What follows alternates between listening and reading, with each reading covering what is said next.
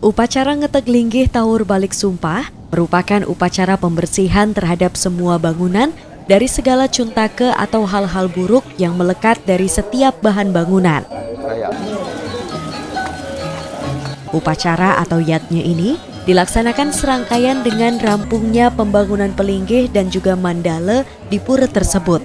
Piodalan di pura ini jatuh pada purnama kelima menurut perhitungan kalender Saka.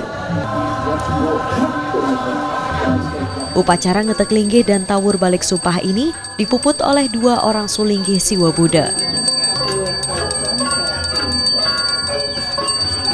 Dengan dilaksanakannya upacara ini, diharapkan mampu memberikan kesejahteraan terhadap seluruh umat, khususnya kerama pengempot. Purnama ni kelima, upacara penika niki ring pura yang sangkur, memarjang upacara kapingajeng rahinan mangkin, rencana taur balik sumpah madya persrano godelan salan teripun. Gus menika acara Malibenyang tanggal 10 peniki acara pemelastian pembersihan ida sesuatu riki sana melingih ring pura yang sangkur. Suwe sengkentan malih tiga rahina muspa ring pura Peyogan Agung ring indo ida yang pasupati siwa pasupati melingih ring pura Peyogan Agung. Dua sebenarnya acara peniki puja wali katur ring pura namanya kelima peniki mendudus alit Nah, duan sepenika carune niki agak mau balik sumpah matia. Duan sepenika status makin pura yang sangkur niki kayangan desa. Nah, kayangan desa kempon nantu keraman titik yang dikiring Banjar Mici kabeh kalih Banjar, Banjar kubur, Banjar umanyar. Desa bertanggung jawab taler duan sepenika linggih ide yang sangkur niki pengabeh ide sesuatu yang pasupati semelinggih ring pura Payogan Agung Talar mengabih yang panca dewata sana melinggih yang tenganan para bida ratnang kara. Perbawaan ide ratu yang sangga ratnang kara. Nah dos kalih mendui paraban ring ratu yang tenganan para rang geni jaya sakti.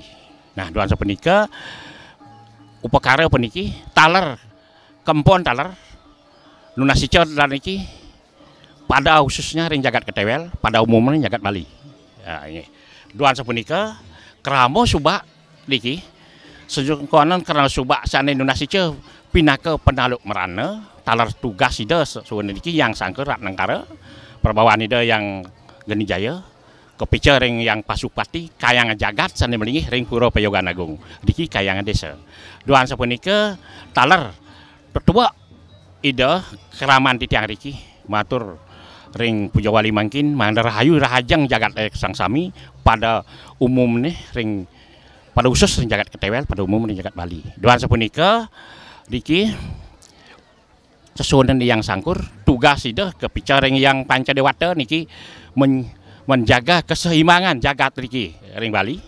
Seimbangan jagat niki tamana Riki ring keramaan yang ring desa ketewel lunasice kentana istilahnya sekali wasmangkin sebagai penolak bala Pura yang Sangkur merupakan salah satu pura yang ada di Bali yang pernah menjadi napak tilas Dang Yang Nirarte yang merupakan pura subak yang ada di kawasan Pantai Bumicik Ketewal Gianyar.